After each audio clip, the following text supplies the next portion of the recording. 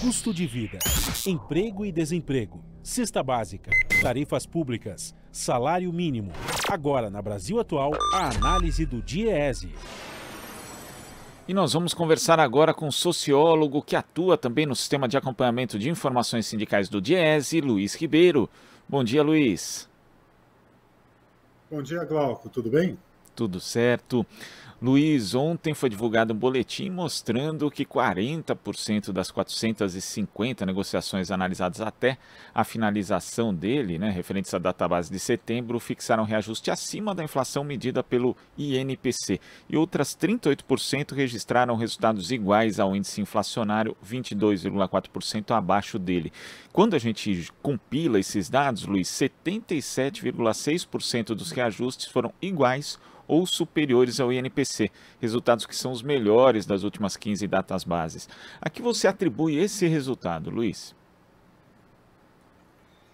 Então, Glauco, resulta esse resultado ele tem duas razões principais. Né? A primeira é que ela, ela ocorre num contexto de deflação. Né? Nos últimos três meses, a gente observou uma redução né, dos preços, né, pelo menos preços gerais medidos pelo INPC, e isso tem contribuído muito para esse desempenho melhor das negociações de setembro, mas também de agosto, né? E o segundo fator, e talvez o mais importante, é porque no segundo semestre, né, e especificamente setembro, você tem já negociações de grandes categorias, né? São categorias com grande poder de mobilização, com sindicatos muito bem organizados, setores mais dinâmicos da economia, né? Então, é, é naturalmente, assim, já é, historicamente, já é esperado resultados positivos, né? Então, nesse contexto da, da, de deflação que ocorreu nos três meses anteriores, né, é, isso contribuiu bastante para esse resultado positivo, né? A gente observa aqui é, justamente esse ponto, Luiz, que as negociações que resultaram em convenções coletivas, ou seja, aquelas que foram negociadas por categoria, registraram reajustes mais altos do que aquelas de acordos coletivos, as negociações por empresas. Isso fica bem evidente, né? Quase dois terços das convenções, 65,9%, conseguiram correções salariais iguais ou acima do INPC. E entre os acordos coletivos, esse índice cai para pouco mais da metade, 54,6%. Isso também reflete, além desse poder de mobilização, algo que deveria ser óbvio, né, mas que a propaganda antissindical acaba atacando. Quer dizer, quem está mais organizado, quem está mais mobilizado, consegue negociar melhor e consegue melhores condições de salário e também de trabalho, Luiz? Verdade, Glauco. Eu acho que essa questão ela passa em torno do, de, de, de, uma problemática que é muito cara ao movimento sindical, né?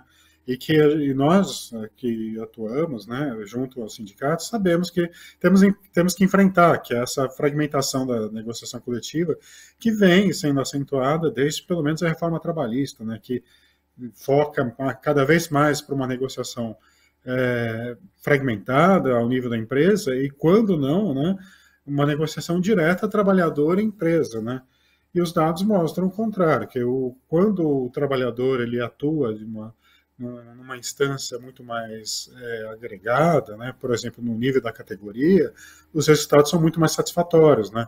Então, por um lado, tem uma demanda, né? uma demanda, uma força, uma intensidade, uma intencionalidade, melhor dizendo, né?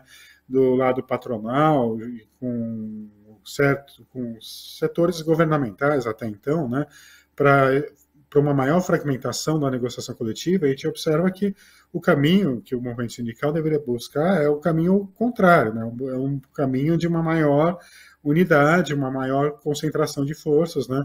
E os dados dos reajustes, eles, meio, eles também comprovam isso, né? E junto a outros dados, né, que a gente pode observar na sociedade, né? Quando o movimento sindical atua, né, de forma mais coletiva, ao nível da categoria, ao nível setorial, os resultados são muito mais satisfatórios para os trabalhadores, trabalhadores e trabalhadoras, né, evidentemente.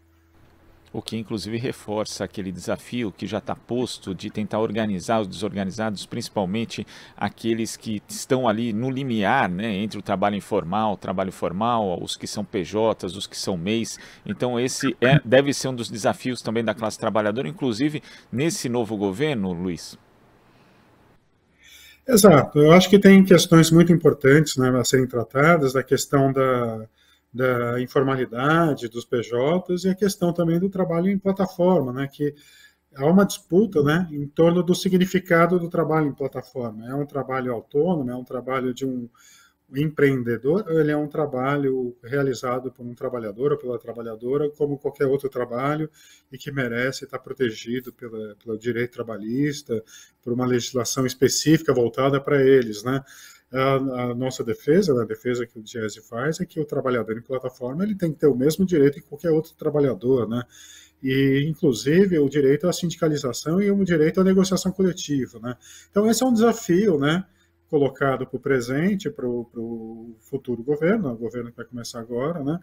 E que vai trazer aportes, né? Claro, do, do debate que ocorre já, né? Mesmo no meio sindical e no meio acadêmico, né? E tendo também como referência a experiência internacional a esse respeito. E mesmo com esse resultado, Luiz, quando a gente observa que as últimas datas bases ainda não foi isso suficiente para reverter o quadro geral de 2022. Quando a gente analisa aqui o cômputo do ano até setembro, 21,6% dos 15.028 acordos e convenções coletivas analisados pelo DIESE definiram reajustes acima da inflação e abaixo foram 41,9%. Então ainda é necessário ter aí uma inflação menor, também um poder de negociação maior maior e um contexto econômico um pouco melhor do que o que a gente tem hoje para que os trabalhadores consigam avançar, porque mesmo esse resultado ainda não compensou o resto do ano, Luiz? Sim, é muito bem apontado, Glauco, porque quando a gente olha a perspectiva do ano, né, a gente observa que cerca de 80% das negociações elas se referem às datas bases de janeiro a maio, né? E só para só maio, né, a data base maio, que é considerada uma das mais importantes do ano, ela representa metade desse 80% que eu acabei de citar, né? Então, os resultados do ano de 2022 já estão meio que definidos, vão ficar muito próximos desses valores que a gente está observando, né? Agora, a perspectiva de futuro, tomara que seja muito mais próxima desse resultado que a gente está observando agora no segundo semestre, né? A gente sabe que a inflação ela vai ter uma volta agora, por exemplo, nesse mês já tem indicações de que a inflação volta a subir, né? Mas, porém, a conjuntura econômica é, é outra, né? Começa um novo governo em janeiro, tem outro, outro programa econômico, é, se tudo ocorrer como planejado, né, como está sendo proposto nessa fase de transição, né, o salário mínimo vai ter um aumento real, né, acima da inflação, o primeiro aumento real em muitos anos, né, e isso, como nós já observamos em outras ocasiões, né, o salário mínimo tem um, uma capacidade de afetar positivamente as negociações salariais, é incrível, assim, é uma, é uma influência positiva, né? Então, ganhos reais no salário mínimo em janeiro muito provavelmente vão se refletir logo de imediato, assim, em ganhos reais, né? Mais categorias tendo ganhos reais. Então, a perspectiva do começo do ano, né? Eu sei que existe muita incerteza, né? Mas a, ah, tem algumas características meio alvissareiras. A gente acredita que vai ter resultados positivos, pelo menos nesse começo do ano de 2023. É o que a gente espera. Luiz, muito obrigado pela sua participação aqui no Jornal Brasil Atual. Até a próxima. Até a próxima, Glauco. Um abraço. Abraço. Conversamos aqui com um sociólogo que atua também no sistema de acompanhamento de informações sindicais do Diese, Luiz Ribeiro. Aqui você ouve as notícias que os outros não dão. Jornal Brasil Atual.